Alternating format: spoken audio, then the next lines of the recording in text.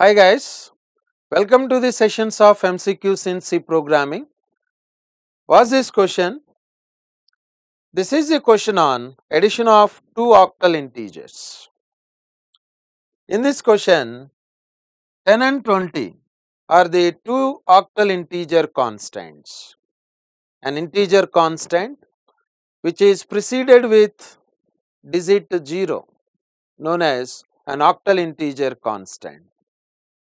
Adding those two octal integer constants and printing the result in a decimal format. Percentile D is the format specifier, the result prints as a decimal integer. So, the better way of solving this question is convert these two octal integers into decimal integer and then add that is the final result printed. If you want to print addition of two octal integers in octal format, use the format specifier percentile O. As I given the format code percent %d, hence better to convert these octal integers in the format of decimal integers and then add. After addition what is the value we getting that is the output of this code. Yes, how to convert an octal integer a base 8 number into a base 10 number.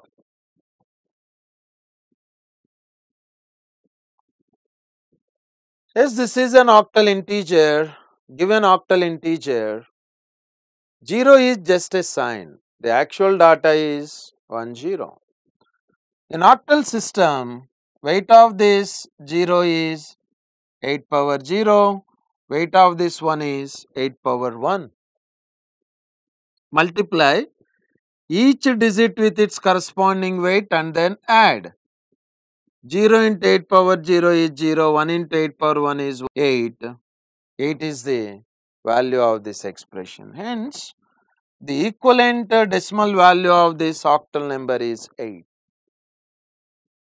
Similarly, convert this octal integer 20 into decimal. What's the conversion of octal integer 20 into decimal? Weight of this digit 0 is 8 power 0. Weight of this digit 2 is 8 power 1. Multiply each digit with its corresponding weight. 16 is the decimal value of this octal integer. So, the decimal value of this octal integer is 8 and the decimal value of this octal integer is 16. 8 plus 16 is 24. The output of this code is 24. 24 is a decimal integer. Suppose say the format specifier is percent to %o. At that time the output printed as 30. Octal number 10, octal number 20, 10 plus 20 is 30. In the result if you want to see 0 in front of 30, along with this format code O, we should use a flag called hash. Hash O. Now we can see in 0 in front of 30.